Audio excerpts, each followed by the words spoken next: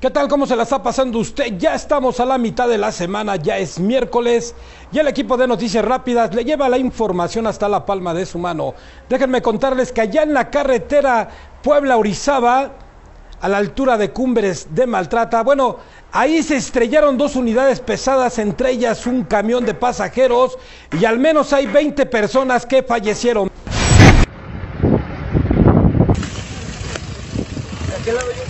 Un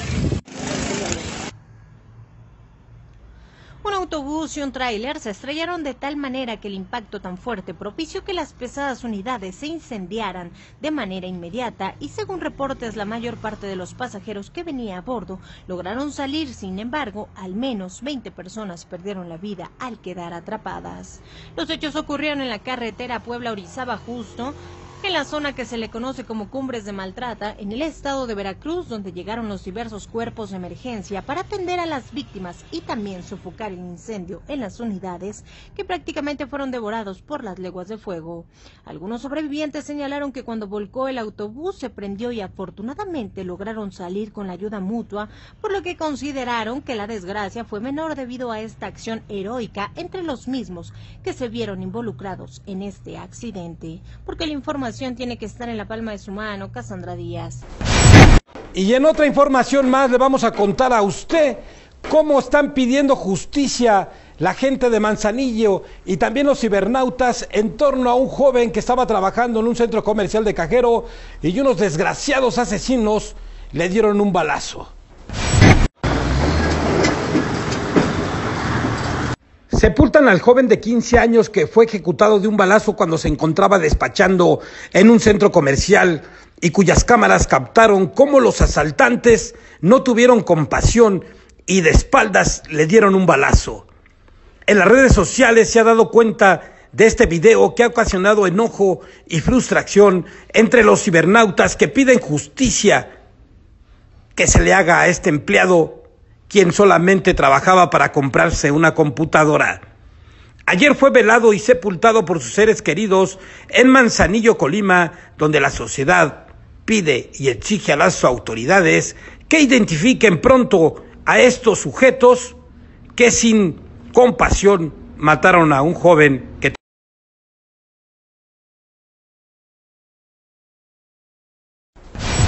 Y también ya vincularon a proceso al chofer al chofer fugas, como nosotros le pusimos allá en Santa Fe, que arrasó con varios vehículos y ocasionó la muerte de varias personas. Conozca los detalles.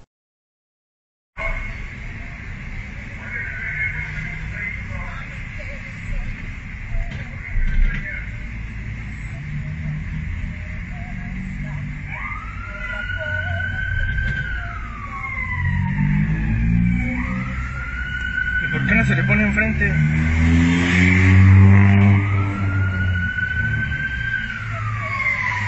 La Procuraduría General de la Justicia de la Ciudad de México aportó pruebas para que un juez de control vinculara proceso a un hombre de 29 años por su probable participación en delitos de homicidio doloso, lesiones y daño a la propiedad derivados de un percance automovilístico ocurrido el 26 de mayo en la colonia Pueblo de Santa Fe en la alcaldía Álvaro Obregón.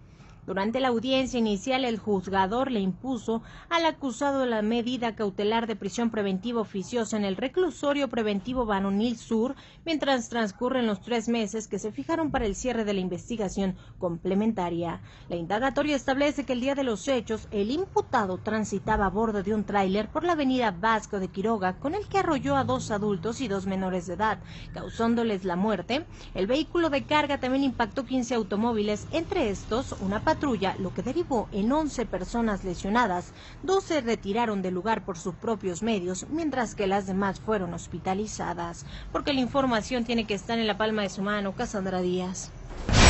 Y bueno, en esta semana la verdad es que los soldados su credibilidad, su fuerza, su potencia ha quedado por los suelos. Ya vimos unos videos que le hemos presentado, pero hoy le vamos a presentar otro donde los soldados literalmente estuvieron a punto de dispararles a sus agresores.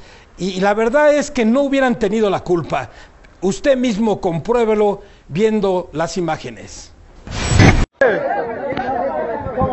Aquí nadie saca plomos. Órale, agarren uno. Órale, llévenlo. Llévenlo, para que aprendan. La frase de abrazos no balazos que ha repetido en diferentes ocasiones el presidente Andrés Manuel López Obrador parece indicar que ha sido practicada por los soldados de nuestro país. Y una prueba de ello es que en menos de una semana dos hechos así lo demuestran, como en este caso donde los soldados allá en Michoacán disparan al aire para salvar a sus compañeros de un grupo de lugareños y que bien pudo haber originado un final dramático. Porque la noticia tiene que estar en la palma de su mano Enrique Hernández. Y también le traemos la videocolumna con nuestro experto que nos va a hablar ahora de las mujeres que cada vez se embarazan más jóvenes. Así es que pongamos atención. La voz de Latitud Megalópolis con Carlos Alberto García. El embarazo en adolescentes es un grave problema público. En México hay una tasa de 63 embarazos de jóvenes por cada mil, cifras del Banco Mundial, y de 70 según el gobierno mexicano. Así lo dio a conocer la directora ejecutiva de la Red Global de Mujeres, Emilien de León Paulina. Esta situación es compleja debido a que las cifras incluyen a niñas de 9 y 10 años de edad y es prioritario resolverlo porque en el país más de la mitad de la población son mujeres y una buena parte de esta problemática se vive en estados con mayor desigualdad social, donde prevalece la pobreza y la falta de educación.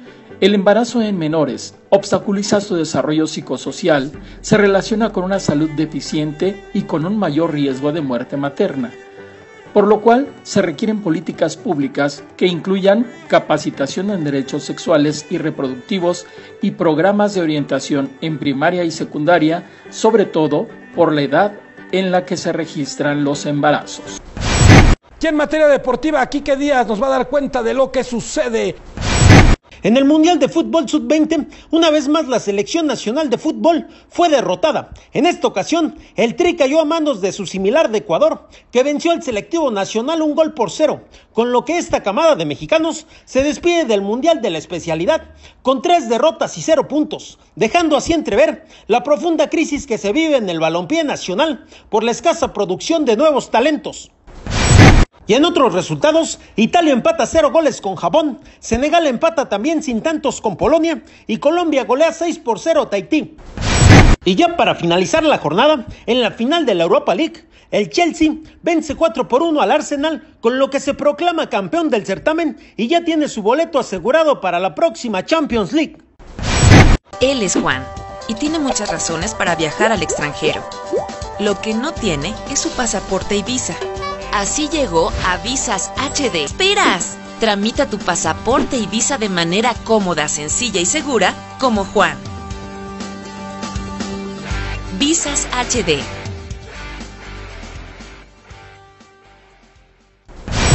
Y también les traemos las notas de impacto, las notas que a veces no queremos ver, pero que son una realidad. Así es que enterémonos. En un lote baldío en Iztapalapa, hallan el cuerpo de una mujer que estaba desaparecida de nombre Graciela Medina López de 43 años de edad.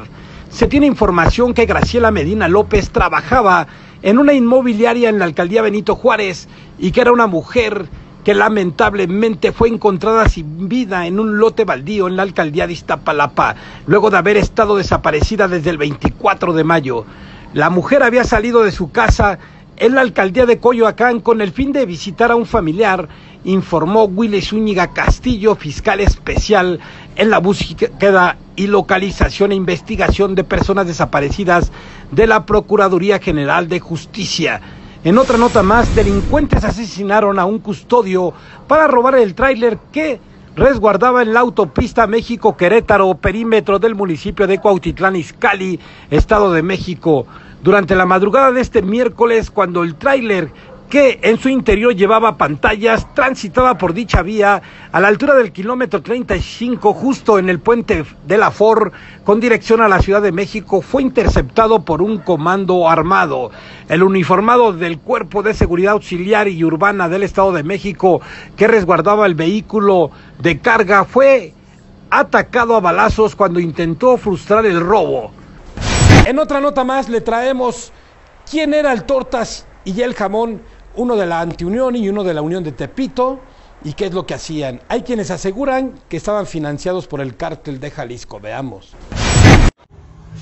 En las investigaciones, el cártel de Jalisco Nueva Generación presuntamente proporcionó apoyo logístico, recursos económicos, armas, drogas, vehículos, sicarios y adiestramiento a los integrantes del grupo criminal Fuerza Antiunión, que lidera Jorge Flores Concha el Tortas, detenido ayer por la Agencia de Investigación Criminal de la Fiscalía General de la República.